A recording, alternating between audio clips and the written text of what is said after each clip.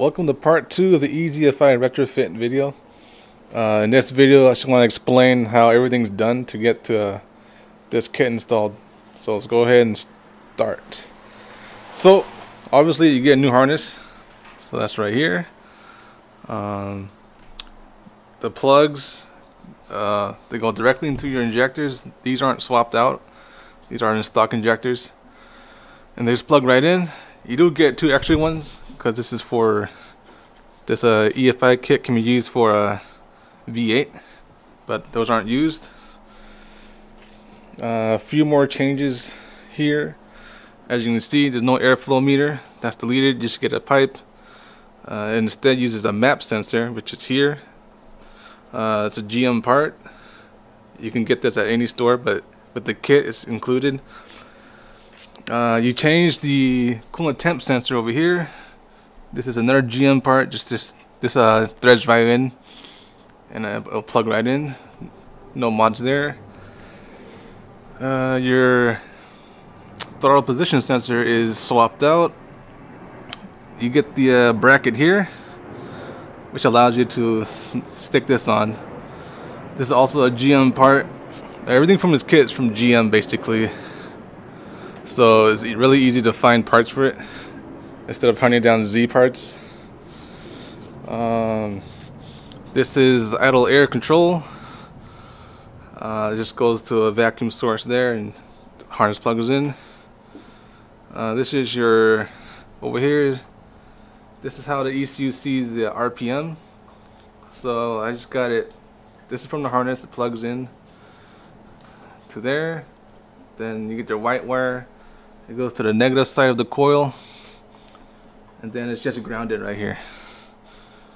So that's how that's set up. And the only thing I would say that's the hardest part about this kit is uh, taking all this apart. Because I'm I'm assuming that you don't have an O2 sensor on your Z. Uh, mine didn't because I have this header. I mean I could have got it. I could have got a header with an O2 bung already on but I didn't have it. So I had to take all this apart uh, get it welded on there let's see this um this kit is for the uh, fuel system only so your ignition is not changed.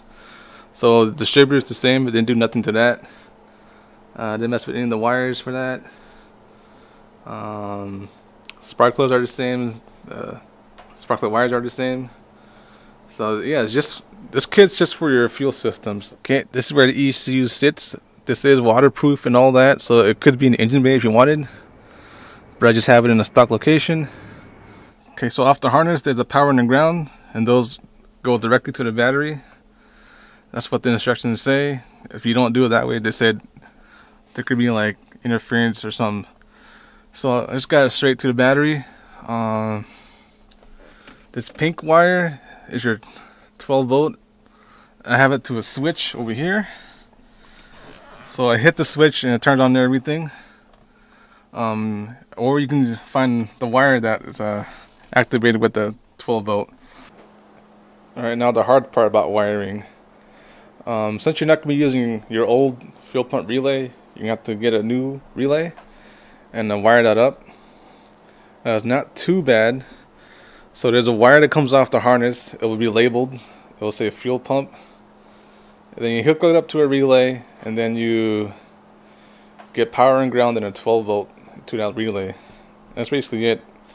I'll put up a clear uh, diagram so you guys can see what I'm saying.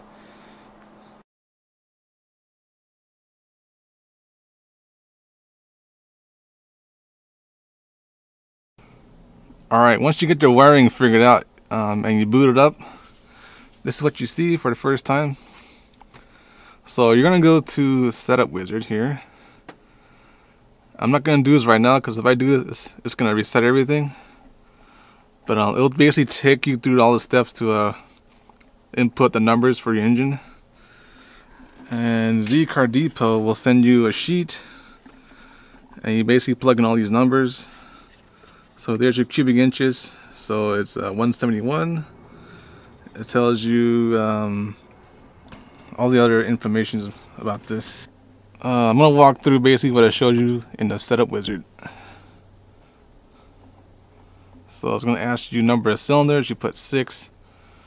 Actually, for cubic inches, you're going to put 171, which is equal to 2.8. Uh, I got my idle at 800. And you can set your rev limit. To, um, I have a 6,400. Uh, you probably don't want to go much higher than that on an L28. Okay. And then you're going to go it's going to show you this. Eventually, in the setup wizard, you're going to want to go to other for your throttle body. Uh, number injected is 6. Your injected rating is at 19. Uh, it tells you this on the, uh, the sheet that Z Car Depot sends you with the kit. Your fuel pressure is set to 40. That's what it says on the sheet that they gave me. Uh, it's going to want you to calibrate the TPS. So you're going to release your. Uh, you basically hit calibrate when you're off throttle, then you hit calibrate again when you're on full throttle. You can set your idle here. You basically want this to be in the green when your car is running. So you adjust your idle until you get to the green part. And then that's basically it on your setup. Uh, the screen is not necessary to run, but it is necessary to do your first uh, initial setup. After that, you don't need it anymore, but I like to keep it because it shows a bunch of info. You can see it's not on right now, but there's all the info I got. Alright, so here's all the old stuff that I'm not using anymore obviously the old ECUs here, the old harness is here, airflow meter is here now, a uh, bunch of relays here. This is the old throttle position sensor. Uh, yeah. Okay, so I did this uh, conversion kit because I have a problem with my car running. So basically, there's a bad connection somewhere in here. on my harness. So I could like wiggle this around and it will shut off the car, which is a problem obviously. And it would do it sometimes when I'm driving or I could even just shut the door and you know freak out enough for it to shut off. Um, I tried different ECUs and I felt like it worked for a little bit, but then the, the problem came back. So I decided that the problem was within the harness and I don't know what I can really do with this. I mean, it looks like it's in okay condition, but the problem still happened after I changed things around. Alright, I'm going to start up now and show you how it runs.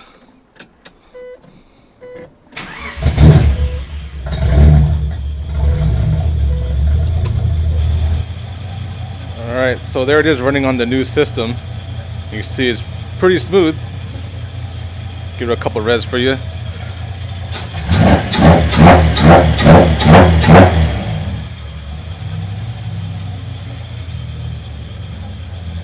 Uh, the ECU starts learning when the temp gets to uh,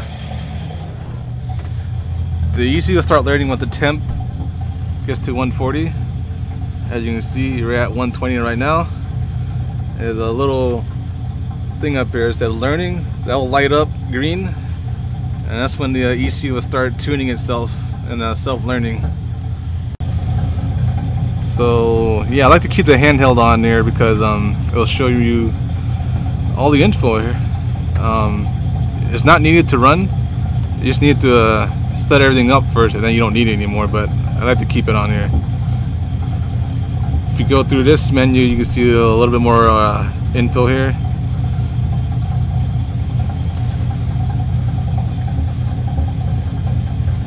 Alright, so the engine reached uh, 140 on the coolant temp, as you can see here. The learning uh, icon here is lit up. So this means the ECU will uh, self-tune at this point. So it's not only at idle, is whenever you're driving, it will uh, self-tune. Alright, I hope this uh, answers any questions you guys had about the setup. Uh, of course, if you have any more questions, go ahead and leave them in the comment section.